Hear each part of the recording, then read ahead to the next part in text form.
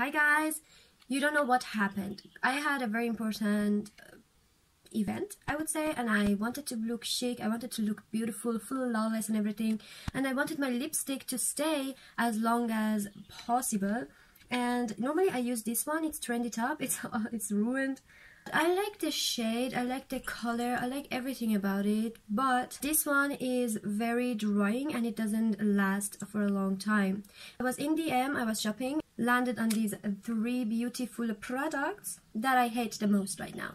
The colors don't match. I have to say that these colors I chose nothing to do with DM but this one the tester of this one in DM were all gloss I bought the gloss shade I wanted to so that it's gonna be a little bit darker and it's the most annoying thing.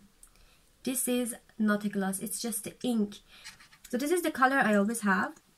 I'm gonna apply it here so that you can see. I always wear this color. It's like a natural alive version of my lips.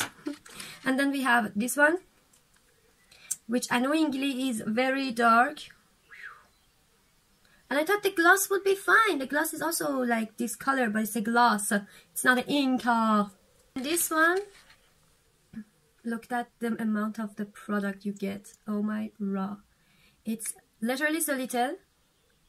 And then we go... This one is a little darker, like a little browner than my normal one. And this is too red, I would say. Or purple-ish and then we have this one the color is not working look at the color uh,